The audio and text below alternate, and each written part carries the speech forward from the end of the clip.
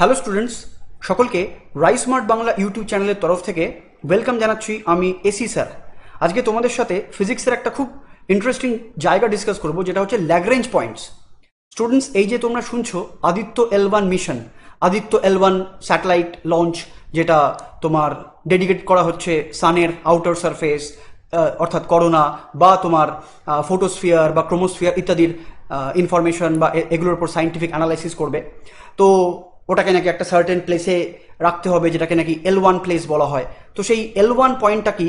সেটাকে আমরা এখন ডিসকাস করব। তার জন্যই আজকের ক্লাস ল্যাগরেঞ্জ পয়েন্টস আচ্ছা ওই যে আদিত্য এল ওয়ান মিশন সেই এল ওয়ানটাকে আমরা অ্যাকচুয়ালি বলছি ল্যাগরেঞ্জ ওয়ান পজিশন তো সেটা কি? তাহলে তোমাকে জানতে হবে ল্যাগরেঞ্জ পয়েন্টস কি জিনিস? চলো। আমরা এখানে ছবিতে টোটাল পাঁচটা ল্যাগরেঞ্জ পয়েন্ট দেখাচ্ছি। L one L two L three L four এবং এল ফাইভ আই থিঙ্ক তোমরা ছবিতে দেখতে পাচ্ছ।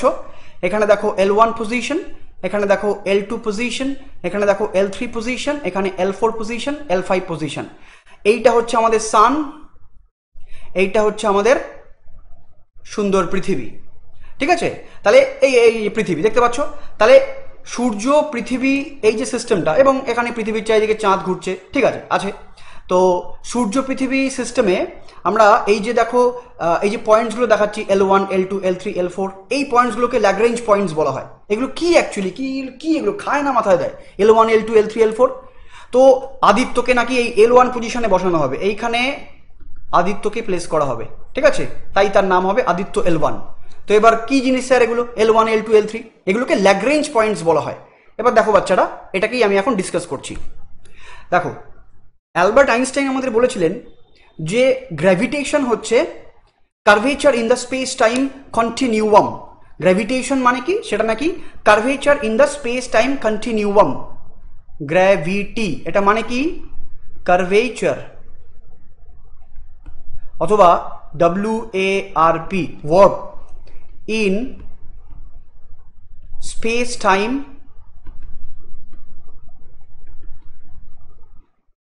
continuum মানে আমাদের যে স্পেস টাইম রয়েছে, সেই স্পেস টাইমকে কার্ভ করছে বিভিন্ন ধরো হেভি স্টার বা প্ল্যানেট যারা রয়েছে, সবাই। ইনফ্যাক্ট তুমি, আমি, আমরা সবাই কিন্তু স্পেস টাইমকে কার্ভ করি। তো প্রত্যেক অবজেক্ট যাদেরই গ্র্যাভিটি আছে, তারাই নাকি, বা যাদেরই মাস আছে, তাদেরই তো গ্র্যাভিটেশনাল পুল রয়েছে। তাহলে যে বস্তুর গ্র্যাভিটি যত বেশি হবে, সে স্পেস টাইমকে তত বেশি কার্ভ করবে।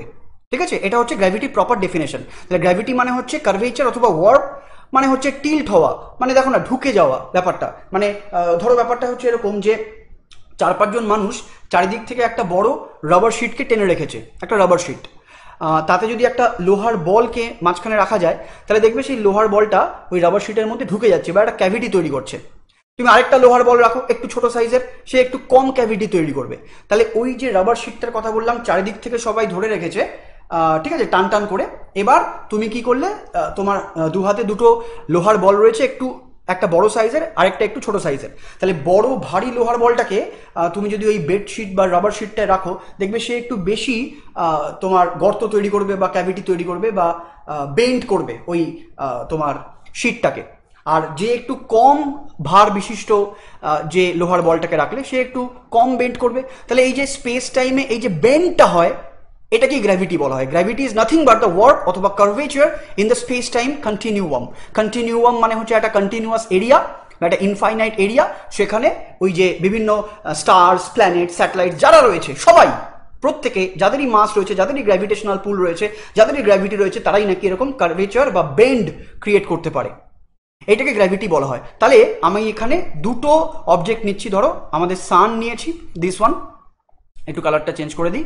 ধরো এটা আমাদের সান আর এটা হচ্ছে আমাদের আর্থ তাহলে আর্থের জন্য এই একটা, তুমি দেখতে পাচ্ছ একটা ব্যান্ড হয়েছে স্পেস টাইমটা মানে সেই বেডশিটটা ভাবো বা রাবার শিটটা ভাবো, ঠিক আছে? রাবারের চাদর ভাবো। সানের জন্য একটু বেশি বেন্ড হবে আর্থের জন্য একটু কম বেন্ড হবে। কেন স্যার বিকজ সানের তো গ্র্যাভিটি বেশি আর আর্থের তো গ্র্যাভিটি কম। আচ্ছা তো এবার তাহলে কোনো একটা স্মল অবজেক্টকে সাপোজ যদি এই এই ইনক্লাইন্ড জায়গাটায় রাখি, তাহলে সে তো নিচে নেমে চলে আসবে। অর্থাৎ সে সানের গ্র্যাভিটেশনাল পুলের জন্য সানের দিকে অ্যাট্রাক্টেড হয়ে যাবে। আবার কোনো একটা অবজেক্টকে ধরো যখন এখানে রাখা হয় মানে সাপোজ এই যে আপেল পৃথিবীর দিকে নেমে আসছে, গাছ থেকে যে আপেল পড়ছে, আপেল পৃথিবীর দিকে নেমে আসছে। তো সেটাকে কীভাবে এক্সপ্লেন করা যেতে পারে? তাহলে পৃথিবী যে বেন্ড ক্রিয়েট করেছে আমাদের স্পেস টাইমে তার মানে একটা ইনক্লাইন্ড এরিয়া বা একটা ইনক্লাইনেশন তৈরি হয়েছে। তাহলে এটা যদি সেই ছোট্ট আপেলটা হয়, সে সেই ইনক্লাইনেশন ধরে নিচের দিকে নেমে আসবে, অর্থাৎ পৃথিবীর দিকে চলে আসতে চাইবে। তাহলে এই ইনক্লাইনেশনে একটা অবজেক্ট রাখলে সেটা সানের দিকে চলে আসবে, এই ইনক্লাইনেশনে একটা অবজেক্ট রাখলে সেটা পৃথিবীর দিকে চলে আসবে। তাহলে আবার যদি এই ইনক্লাইনেশনে একটা অবজেক্ট রাখি, সে আবার এই দিকে নেমে যাবে। ঠিক আছে? তার মানে যেখানে ইনক্লাইনেশন ক্রিয়েট হচ্ছে, সেখানে অবজেক্ট রাখলে সে সেই ভারী অবজেক্টের রেসপেক্টে একটা গ্র্যাভিটেশনাল পুল এক্সপেরিয়েন্স করে সেই দিকে নেমে আসতে চায়। এটাই হচ্ছে লজিক সিম্পল লজিক যে কেন আপেল পৃথিবীর দিকে নেমে আসে। তাহলে এবার ভাবো, যদি এমন কিছু পয়েন্ট থাকে, এইটা এইটা মানে আমি একটু সার্কেল করে দিচ্ছি, এই পয়েন্টটা এই পয়েন্টটা এই পয়েন্টটা এই পয়েন্টটা বা এই পয়েন্টটা এমন কিছু পয়েন্ট থাকে যেখানে নেট গ্র্যাভিটেশনাল ফোর্সটা ব্যালেন্সড হয়ে যাচ্ছে, অর্থাৎ অবজেক্টটা না এই দিকে নামছে, না এই দিকে নামছে। সেই পয়েন্টসগুলোকে আমরা বলছি ল্যাগরেঞ্জ পয়েন্টস তাহলে এখানে এই যে জায়গাগুলো, এই যে জায়গাগুলো, এই জায়গাটা এই জায়গাটা এই জায়গাটা এই জায়গাটা এই জায়গাটা, এই যে পাঁচটা জায়গা দেখানো আছে, এরা হচ্ছে ল্যাগরেঞ্জ পয়েন্টস অর্থাৎ এই জায়গা থেকে বলটা বা অবজেক্টটা না এই দিকে নেমে যাবে, না এই দিকে নেমে যাবে। তার মানে এই দিকে একটা ইনক্লাইন্ড এরিয়া রয়েছে, এই দিকে একটা ইনক্লাইন্ড এরিয়া রয়েছে। মাঝখানে একটা সমতল জায়গা, মনে করো, আছে। মনে করো ফিল করো যে এখানে একটা সমতল জায়গা আছে যেখানে অবজেক্ট রাখলে সেটা কোনো দিকেই নামবে না। না এই দিকে নামবে, না এই দিকে নামবে। ঠিক আছে? মানে ঠিক এই একটা ব্যাপার এরকম একটা ব্যাপার। এইখানে যদি অবজেক্ট থাকে, সে তো কোনো দিকেই নামবে না। এইখানে অবজেক্ট রাখলে এদিকে নামবে, এইখানে অবজেক্ট রাখলে এদিকে নামবে। তাহলে এদিকে স্পেস টাইম কার্ভের জন্য কোনো একটা, ধরো হেভি বডি রয়েছে, তার টানে এই অবজেক্টটা নিচে নেমে যাচ্ছে। এদিকে কোনো একটা হেভি বডি আছে, তার টানে অবজেক্ট এদিকে নেমে যাবে। কিন্তু এইরকম জায়গায় যদি কোনো অবজেক্ট থাকে, তাহলে তার এদিকে বা এদিকে হেভি অবজেক্ট থাকা সত্ত্বেও, এইখানে যদি কোনো আমি অবজেক্ট রাখি, সেই অবজেক্টটা কিন্তু সেই হেভি অবজেক্টগুলো আইদার সাইডে যে হেভি অবজেক্টগুলো আছে, তার দিকে অ্যাট্রাক্টেড হচ্ছে না। ভালো করে বোঝো। তাহলে এই জায়গায় যদি কোনো একটা অবজেক্টকে রাখা হয় আর এই সাইডে এই আইদার সাইডে এইখানে একটা বড় অবজেক্ট আছে মনে করো, এইখানে একটা বড় অবজেক্ট আছে মনে করো। তাহলে এই অবজেক্টটা এই অবজেক্টটা এরা তো ইনক্লাইন পাত দিয়ে নেমে যাবে। কিন্তু এইখানে যাকে রাখবে, সে তো কোনো দিকেই যাবে না। তার মানে বলতে পারি যে এইখানে যে অবজেক্টটা আছে, তার উপর নেট ফোর্সটা ব্যালেন্সড হয়ে গেছে। তাহলে যে স্থানে এরকম নেট গ্র্যাভিটেশনাল ফোর্স ব্যালেন্সড হয়ে যায়, অর্থাৎ সূর্যের তরফ থেকে একটা গ্র্যাভিটেশনাল পুল আছে, পৃথিবীর তরফ থেকে একটা গ্র্যাভিটেশনাল পুল আছে, যে পয়েন্টে ওই দুটো ফোর্স একে অপরকে ব্যালেন্স করে ভাবো সেটাকেই ল্যাগরেঞ্জ পয়েন্ট বলা হয়। এখানে এই পয়েন্টটাই হচ্ছে Lagrange point this one this one this one এইটাকে আমরা বলছি ল্যাগ্রেঞ্জ সায়েন্টিস্টের নাম থেকে আসছে এটা। তাহলে এই পয়েন্টসগুলো যেখানে আমি সার্কেল করে করে দেখালাম, এগুলো সব ল্যাগ্রেঞ্জ পয়েন্টস তাহলে কটা সার্কেল করলাম বাবু? একটা, দুটো, তিনটে, চারটে, পাঁচটা। তাহলে টোটাল পাঁচটা ল্যাগ্রেঞ্জ পয়েন্টস রয়েছে। টোটাল পাঁচ, পাঁচটা ল্যাগ্রেঞ্জ পয়েন্টস রয়েছে সান আর্থ সিস্টেমে দেখো এইদিকে হচ্ছে এল থ্রি পজিশন এটা হচ্ছে এল ওয়ান পজিশন এটা দেখো L five position L four position L two position তাহলে দেখো L one L two L three এরা একটা লাইন বরাবর রয়েছে L one L two L three এরা একটা লাইন বরাবর রয়েছে হরিজন্টালি আর এল ফোর আর এল ফাইভ এরা রয়েছে ভার্টিক্যালি তাহলে এই পয়েন্টসগুলোকে ইকুইলিব্রিয়াম পয়েন্টস বলা হয়। এই পয়েন্টসগুলোকে ল্যাগ্রেঞ্জ পয়েন্টস বলা হয়। যে পয়েন্টে নেট গ্র্যাভিটেশনাল ইনফ্লুয়েন্সটা ব্যালেন্সড হয়ে যায়, অর্থাৎ চারিদিক থেকে গ্র্যাভিটেশনাল ফোর্স একে অপরকে ব্যালেন্স করে ফেলে, ঠিক আছে? নেট ফোর্সটা জিরো হয়ে যায়, সেই পয়েন্টসগুলোকে আমরা ল্যাগ্রেঞ্জ পয়েন্টস বলছি। সাম্য অবস্থান ঠিক আছে? ইকুইলিব্রিয়াম পয়েন্ট দেখো, এখানে ছবি দেখিয়ে দিয়েছি, সেই ছবিটাই দেখিয়েছি। এটা হচ্ছে ল্যাগ্রেন পয়েন্ট থ্রি এটা হচ্ছে ল্যাগ্রেন পয়েন্ট ফোর এটা হচ্ছে তোমার ল্যাগ্রেঞ্জ পয়েন্ট পাঁচ, এটা হচ্ছে তোমার ল্যাগ্রেঞ্জ পয়েন্ট ওয়ান এটা হচ্ছে তোমার ল্যাগ্রেঞ্জ পয়েন্ট টু ঠিক আছে? পজিশনগুলো দেখে নিলে বাচ্চারা। One two three four five দেখো, আরেকবার দেখো। One two three four five তাহলে এই এল ওয়ান পজিশনে আদিত্য বসবে। আদিত্য এসে বসবে এল ওয়ান পজিশনে যেটা পৃথিবী থেকে পনেরো লক্ষ কিলোমিটার দূরে। এই পজিশনে আদিত্য বসবে, যাতে করে সূর্য, সূর্যের দিকেও সে চলে যাবে না, আবার পৃথিবীর দিকেও সে চলে আসবে না। তাহলে সেইখানে সে রিলেটিভলি স্টেশনারি হয়ে যাবে বা স্টেবল হয়ে যাবে। সেই ইকুইলিব্রিয়াম পজিশনটাকেই এল ওয়ান পজিশন বা ল্যাগরেঞ্জ ওয়ান পজিশন বলা হয়। এই যে ল্যাগরেঞ্জ প্রথমে আমরা তিন রকমের পজিশনের কথা বলছি। একটা হচ্ছে Lagrange one Lagrange two Lagrange three এই তিনটে পজিশনকে অ্যাকচুয়ালি তোমার ডিসকভার করেছেন যে সায়েন্টিস্ট তার নাম হচ্ছে Euler one two three one two three ঠিক আছে? আবার ল্যাগরেঞ্জ ফোর আর ফাইভ এই দুটো পয়েন্টকে ডিসকভার করেছেন রিমেনিং টু সেটাকে ডিসকভার করেছেন ল্যাগ্রাইঞ্জ তাহলে অ্যাকচুয়ালি তোমার ইউলার যিনি রয়েছেন, তিনি এই ওয়ান টু থ্রি এই পয়েন্টগুলোকে ডিসকভার করেছেন ইউলার তাহলে ইউলার এবং ল্যাগ্রেঞ্জ দুজনে মিলে এই পয়েন্টগুলোকে ডিসকভার করেছেন, তোমরা বলতে পারো। তাহলে ইউলার হচ্ছে ওয়ান টু থ্রি এই তিনটে পয়েন্ট ডিসকভার করেছেন, আর ল্যাগ্রেঞ্জ হচ্ছে ফোর ফাইভ এই পয়েন্টগুলোকে ডিসকভার করেছেন। বলা হচ্ছে যে ওয়ান টু থ্রি যে ল্যাগ্রেঞ্জ পয়েন্টসগুলো রয়েছে, আর ফোর ফাইভ যে ল্যাগ্রেঞ্জ পয়েন্টগুলো রয়েছে, এদের মধ্যে একটা ডিস্টার্ব মানে একটা ছোট্ট ডিফারেন্স রয়েছে। ডিফারেন্সটা হচ্ছে ওয়ান টু থ্রি যে ল্যাগ্রেঞ্জ পজিশনগুলো রয়েছে, সেটা তুলনামূলক একটু কম স্টেবল এল ফোর আর এল ফাইভের তুলনায়। কি বললাম? ওয়ান টু থ্রি অর্থাৎ এই যে হরিজন্টাল যে তিনটে পয়েন্ট রয়েছে ওয়ান টু থ্রি এরা রিলেটিভলি কম স্টেবল ফোর ফাইভের তুলনায়। সব পয়েন্টসগুলি স্টেবল পয়েন্টস কিন্তু বলছে যে ওয়ান টু থ্রি এর তুলনায় চার বা পাঁচ এরা একটু বেশি স্টেবল এরা একটু বেশি স্টেবল চার বা পাঁচ এরা ওয়ান টু থ্রি এর তুলনায় একটু বেশি স্টেবল মানে ওয়ান টু থ্রি যে পয়েন্টগুলো একটু কম স্টেবল মানে কোনোভাবে ওয়ান টু বা থ্রি পজিশনে থাকা কোনো একটা স্যাটেলাইট কোনোভাবে যদি ডিসলোকেট হয়, তাহলে কিন্তু মুশকিল হয়ে যাবে। সে কিন্তু ওরকম ভারী অবজেক্টের টানে ঘুরতে ঘুরতে ঘুরতে ঘুরতে, কিন্তু তার অরবিটে এসে পড়বে। মানে মনে করো সাপোজ কথার কথা বলছি যে এই যে এল ওয়ান বা এই যে এল টু বা এই যে এল থ্রি এই যে পজিশনসগুলো আমি এখানে মনে করো কোনো একটা স্যাটেলাইটকে প্লেস করলাম। তাহলে যদি কোনোভাবে ডিসলোকেশন হয় প্রপার প্লেসিং না হয়, কোনো অঙ্কে প্রবলেম হয়ে যায়, গন্ডগোল হয়ে যায়, হতেই পারে। ঠিক আছে? সেক্ষেত্রে কি হবে?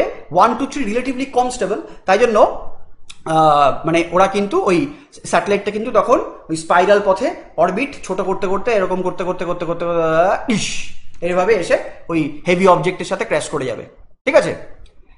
কিন্তু এল ফোর আর এল ফাইভে সেই চান্সটা কম বলছে। স্লাইটলি যদি এল ফোর এল ফাইভ থেকে পজিশন থেকে স্যাটেলাইট যদি ডিসলোকেটও করে, তাহলেও অরবিটে বিশাল কিছু পরিবর্তন আসবে না। হয়তো অরবিটটা স্লাইটলি একটু টিল্ট হবে ঠিক আছে। কিন্তু বিশাল এইভাবে এরকম ওই স্পাইরাল অরবিটে সে যে এসে নিচে পড়ছে বা ক্র্যাশ করে যাচ্ছে হেভি সেন্ট্রাল বডির সাথে, সেটা কিন্তু হবে না। তাহলে চার নম্বর বা পাঁচ নম্বর পজিশনে যদি স্যাটেলাইট প্লেস করা হয়, তারা রিলেটিভলি একটু বেশি স্টেবল হবে। আর এক, দুই, তিন পজিশনে স্যাটেলাইট প্লেস করা হলে রিলেটিভলি তারা একটু কম স্টেবল রিলেটিভলি চার বা পাঁচের অনুপাতে। তাহলে ওই ওয়ান পজিশনে অ্যাকচুয়ালি আদিত্যকে প্লেস করার কথা ভাবা হয়েছে।